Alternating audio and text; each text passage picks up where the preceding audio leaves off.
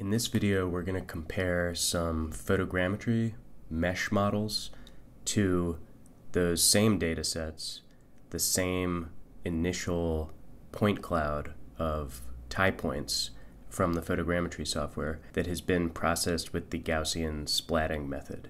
So we're going to compare the photogrammetry mesh with the Gaussian splatted point cloud running in Unity. Let's take a look at the photogrammetry model.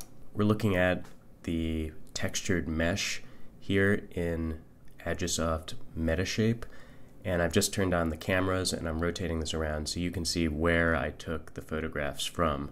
And if I switch this to the untextured mesh, so just the, the polygonal surface model, uh, we can start seeing really the quality of this, uh, the 3D model here. And there's a few problematic areas. But overall, given the constraints of the conditions that I was photographing under, it turned out pretty well, I think.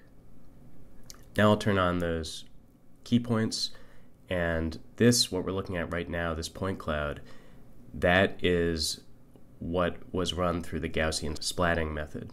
And I'll turn on these, the tie and the key points here, and you can see those are all the points that were matched between the photographs. So those are the features that were found in a single photo in the photogrammetry, of the structure from motion. Turning the texture back on, we can see that photogrammetry, there's only data in the model or the texture if there's a photograph of it.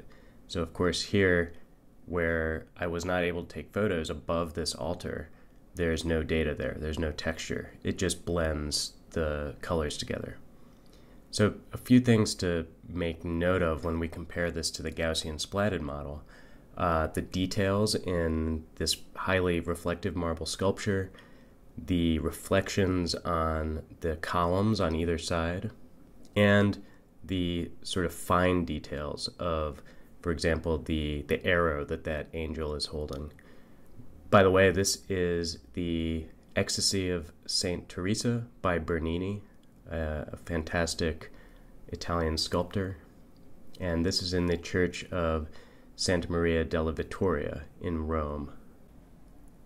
And one more thing, another few key differences between the photogrammetry model and the Gaussian splatted point cloud are going to be the reflections on the columns and on other reflective surfaces, the fine details on that sculpture, and finally some of the reflections on the marble. Let's take a look at the Gaussian splatted model now.